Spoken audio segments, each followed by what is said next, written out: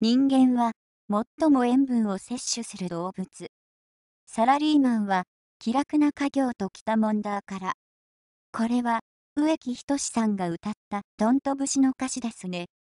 ところで、サラリーマンとは給料を受け取って働く人という意味なのですが、そのサラリーの語源は塩です。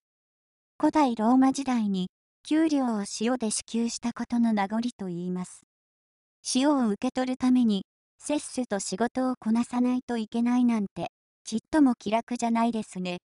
冗談はさておき、人類が今日まで大いなる進歩を遂げるに至り、その最大級に貢献した一つは、やはり塩です。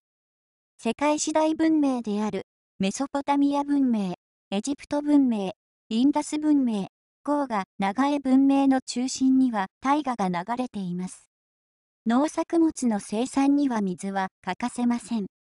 豊かな農産物は都市を作り人口を増やします。ここで必要になるのが塩です。集約的労働には個人と全体の強さが求められます。個人では筋力、全体としては採地を操る能力でしょう。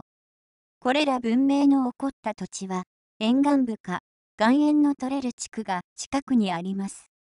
海水からまたは岩塩から塩を取っていたのです。塩なくして都市はないのです。サラリーマンが受け取る塩の貴重さも、なんとなく理解いただけたかと思います。今でも、塩のつく地名は、世界中にいくつもあります。オーストリアのザルツブルク、サルズブルグ、ドイツのザルツギッテル、サルズジッター、スコットランドのソルトコーテス、サルトコテス、アメリカ合衆国ユタ州の州都であるソルトレイクシティ、ソルト、レイク、シティなどもそうですね。日本でも、長野県塩尻市、新潟県塩沢町など、皆さんも、全国の塩がつく地名に聞き覚えがあることでしょう。哺乳類の中でも、人間ほど塩を摂取する動物はいません。日本人の塩分摂取量は地域期によって違いますが1日平均で 10g から 13g。塩分摂取が少ないとされるアメリカ人や標準的なヨーロッパ人でも 8g から 12g と言われます。一方、南米アマゾンの原住民であるヤノマミ族は世界中で最も塩分摂取の少ない部族として知られています。低血圧な部族としても知られています。彼らには調味料としての塩がないのです。ですから、ほとんどゼロに近い塩分摂取量なのです。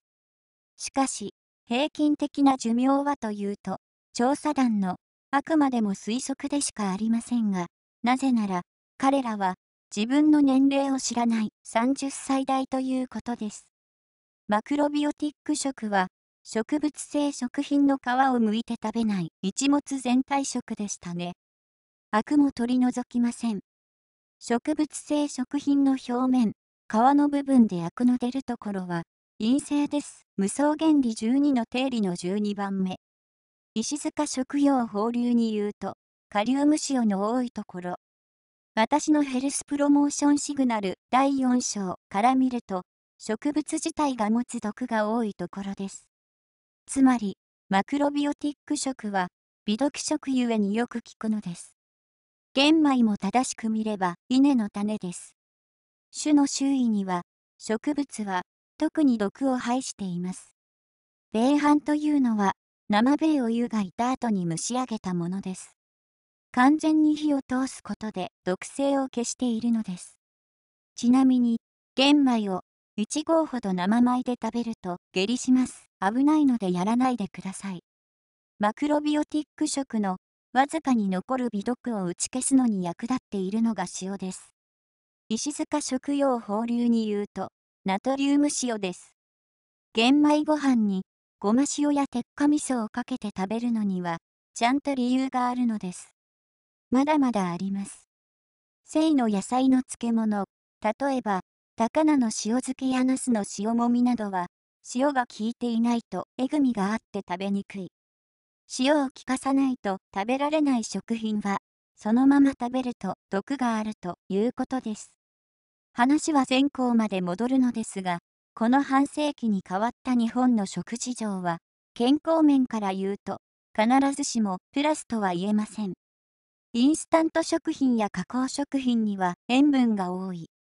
カップラーメン1杯には、食塩に換算して多いものは 10g 近く含まれています。塩分が多くないと美味しくないということは、それだけ素材の毒が。ファーストフード店のハンバーグを持ち帰り、半日以上、十分に冷ましてから食べると、大概の人は苦いと言います。さて、その毒性はいかに？